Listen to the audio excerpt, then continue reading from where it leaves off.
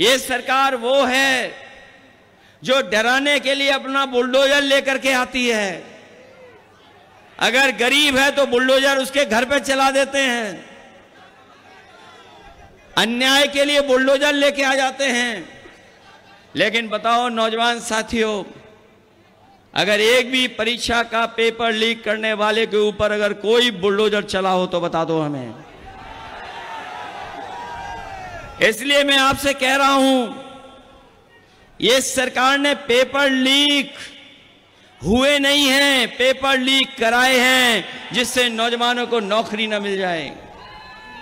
और जाकर के घर सोचना कि जो पेपर लीक हुए हैं, जिससे आपके सालों साल खराब हुए हैं, आपका जीवन का एक तिहाई जीवन बर्बाद किया है।